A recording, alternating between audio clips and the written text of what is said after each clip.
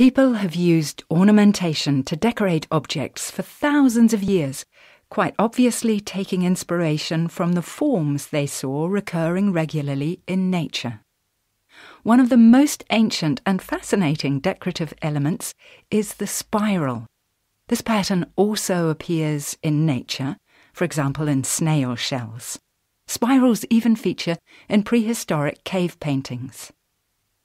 Other decorative motifs were inspired by plants, such as lotus flowers and papyrus reeds in ancient Egypt, or the palmettes and acanthus leaves popular in ancient Greece.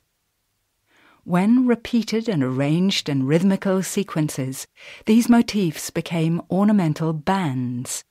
The Latin word ornare means not only to decorate, but to arrange.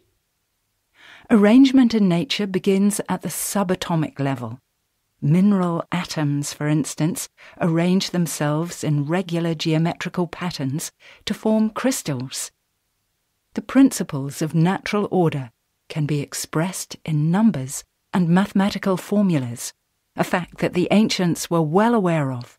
The ancient Greek philosopher Plato recommended that the education of youths should include the study of the beauty of geometric forms, which is based on proportion and a mathematical concept of the cosmos.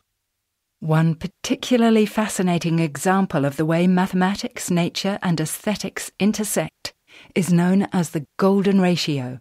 This is when the relation between two quantities remains the same even as their absolute size decreases or increases.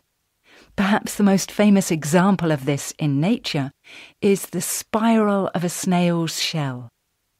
No wonder then that it inspired one of the oldest decorative motifs.